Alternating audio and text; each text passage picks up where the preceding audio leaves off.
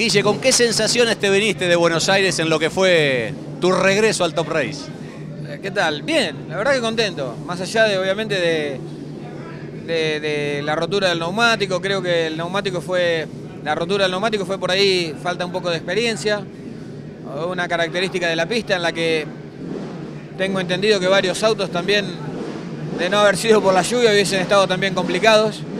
Pero bueno, conforme porque sentimos que fuimos competitivos a la hora de clasificar, fuimos competitivos dentro de los parámetros lógicos en carrera, así que este, eh, la verdad que nos vinimos muy conformes. Te pudiste medir bien, me parece que en carrera sobre todo, ¿no? Con, con muchos de los rivales. Sí, más allá de medirnos, bueno, entiendo de que hay que trabajar un poco más, porque había autos que salen a pista y que, que están enseguida rápidamente bien.